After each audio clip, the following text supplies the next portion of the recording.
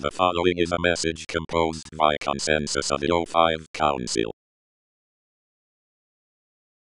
For those who are not currently aware of our existence, we represent the organization known as the SCP Foundation.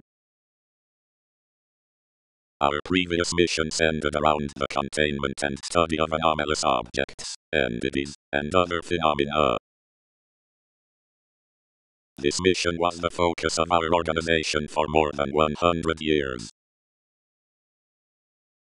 Due to circumstances outside of our control, this directive has now changed. Our new mission will be the extermination of the human race. There will be no further communication. This is an alert from the Global Occult Coalition. The recent message broadcast by the SCP Foundation is not a hoax.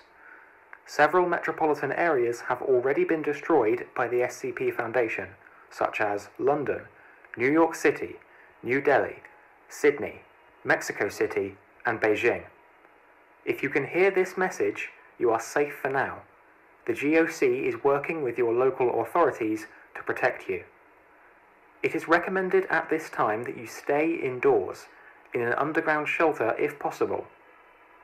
Draw this symbol on the floor of your shelter to provide basic protection from certain thaumatological threats the SCP Foundation may employ.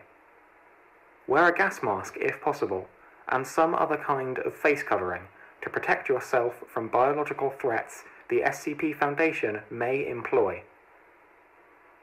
Only watch and listen to broadcasts approved by the GOC to protect yourself from any audio or visual hazard the SCP Foundation may employ.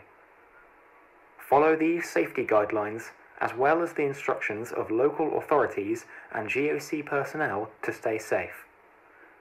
The Global Occult Coalition will fight to protect humanity. Good luck.